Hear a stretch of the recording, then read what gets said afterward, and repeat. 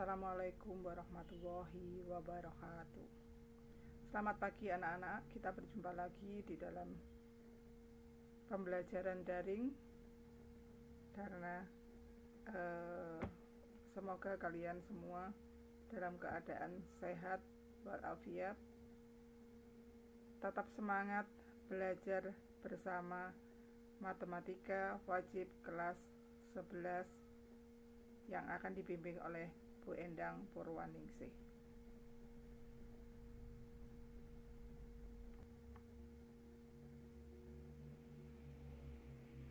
Sebelum kita masuk ke dalam pembelajaran kelas 11 yaitu tentang induksi matematik, Anda harus mengerti terlebih dahulu konsep dasar untuk bisa mempelajari uh, induksi matematik yaitu Anda harus tahu dulu menggunakan konsep barisan dan deret dalam pemecahan masalah sehari-hari.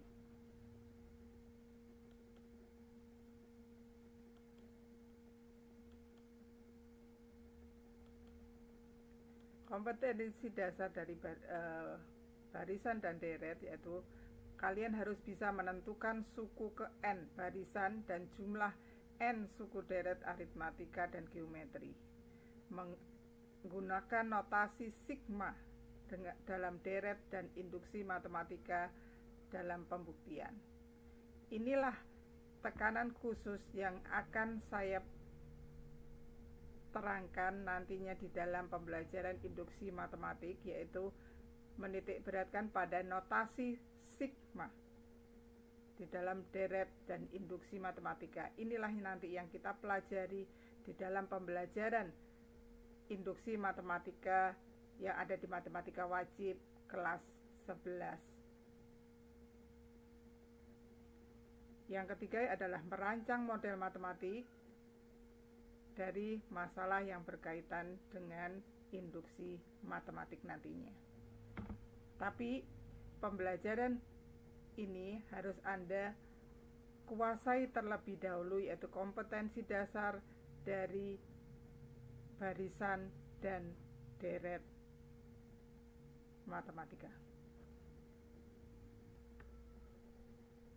Di dalam pola bilangan di dalam pola bilangan barisan, deret, dan notasi sigma meliputi pola bilangan dan barisan, deret, dan notasi sigma.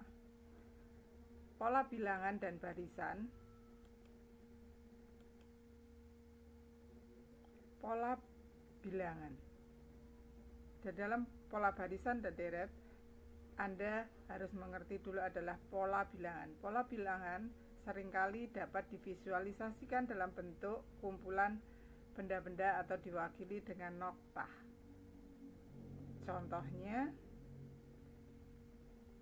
yaitu satu diwakili oleh noktah satu, dua diwakili dengan noktah dua, 3 diwakili dengan noktah 3 dan 4 diwakili dengan noktah 4. Pola bilangan asli atau ganjil. 1 dilambangkan dengan noktah 1, 3 dilambangkan dengan noktah 3, 5 dilambangkan dengan noktah 5 dan 7 dilambangkan dengan nokta 7 yang berbentuk L. Barisan bilangan Barisan bilangan adalah susunan bilangan yang memiliki pola atau aturan tertentu antara satu bilangan dengan bilangan yang lain. Jika bilangan pertama adalah U1, dan bilangan kedua adalah U2, bilangan ketiga adalah U3 dan bilangan ke N adalah UN. Maka barisan bilangan itu dituliskan sebagai U1, U2, U3, sampai UK dan selanjutnya sampai U ke N atau suku ke N.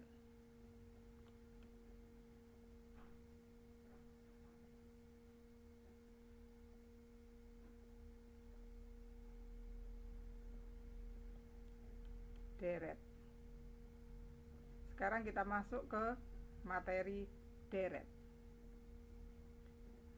Deret juga berhubungan dengan pola bilangan yang kita miliki. Yaitu misalkan U1, U2, U3 sampai dengan UN merupakan suku-suku suatu barisan.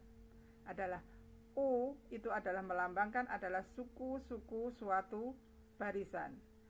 U1 adalah suku ke-1, U2 adalah suku kedua, U3 adalah suku ketiga, UN adalah suku ke N. Suatu barisan. Jumlah beruntun dari suku-suku barisan itu dinamakan sebagai deret dan dituliskan sebagai U1 plus U2 plus U3 plus U ke N yang artinya adalah suku ke satu ditambah dengan suku kedua ditambah dengan suku ketiga ditambah sampai dengan suku ke N. U1 juga dapat disebut sebagai suku penjumlahan yang ke N. Jika N merupakan bilangan asli berhingga, maka deret itu dinamakan sebagai deret berhingga. Selanjutnya, setelah Anda mengerti tentang pola bilangan, mengetahui tentang barisan bilangan. Setelah Anda mempelajari tentang pola bilangan barisan, deret, maka sekarang akan mem, uh, akan saya lanjutkan dengan mempelajari tentang notasi sigma. Di dalam notasi sigma, inilah nanti Anda akan yang akan Anda gunakan di dalam pembelajaran induksi matematika. Dengan demikian, maka Anda perlu memahami notasi sigma dengan cermat. Notasi sigma adalah suatu deret suku ke satu ditambah suku kedua ditambah suku ketiga plus suku ke I ditambah dengan sampai dengan suku ke N. Dapat ditulis dengan menggunakan notasi sigma sebagai berikut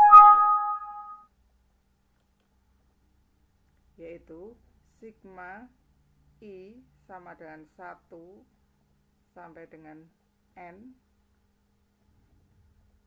U suku ke I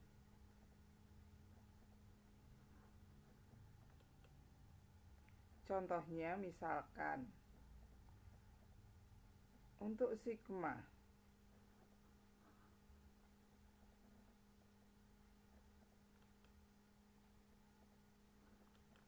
Contoh yaitu untuk sigma I bernilai 1 sampai dengan 5 dengan fungsi 2I min 1 maka anda mengisikan nilai I dari 1 sampai dengan 5 yaitu 2 kali 1 min 1 ditambah dengan 2 kali 2 min 1 ditambah 2 kali 3 min 1 ditambah dengan 2 kali 4 min 1 ditambah dengan 2 kali 5 min 1 sehingga kita dapatkan 4 min 1 sama dengan 2 min 1 sama dengan 1 4 min 1 sama dengan 3 6 min 1 sama dengan 5 8 min 1 sama dengan 7 dan 10 min 1 sama dengan 9 sehingga totalnya adalah 25.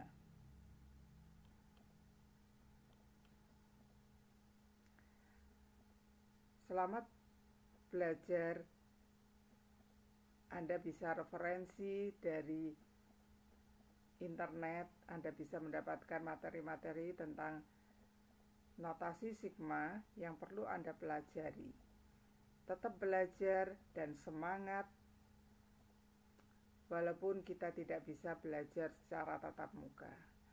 Sebagai akhir daripada pembelajaran ini, saya ucapkan Assalamualaikum warahmatullahi wabarakatuh.